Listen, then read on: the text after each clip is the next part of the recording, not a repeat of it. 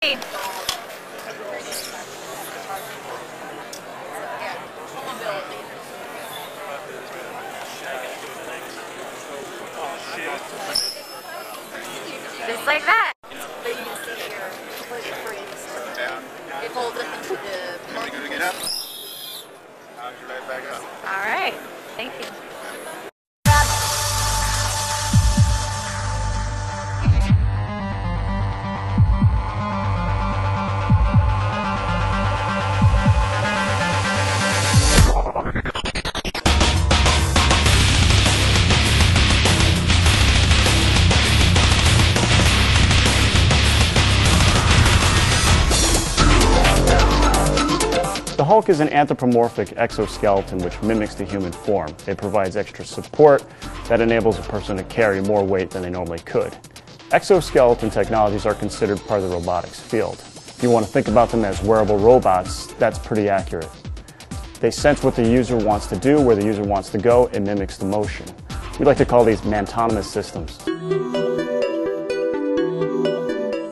The exoskeleton is primarily composed of titanium components which are both lightweight and provide the strength needed to carry the load.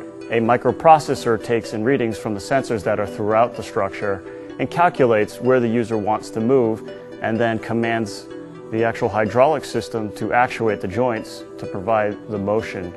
You can walk, you can run, you can bend, you can crawl, you can leap. It does not impede your range of motion whatsoever.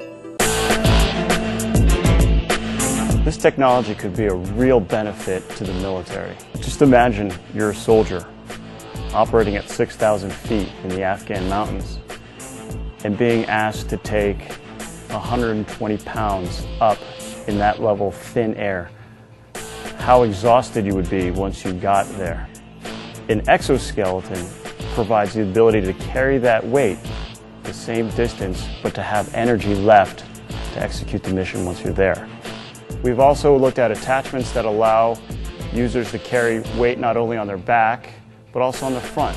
The exoskeleton will fit anybody between 5'4 and 6'2. The current system weighs 53 pounds, but it's pretty much unnoticeable to the user because what the technology does is it even transfers its own weight to the ground, in addition to the weight you're carrying.